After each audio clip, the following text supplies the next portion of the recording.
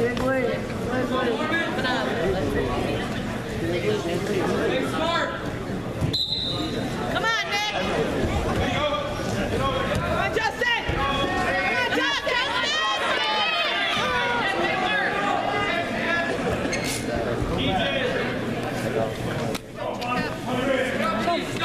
said, yeah, do you want your necklace yet? Yeah. Okay. You said you were gonna pin it.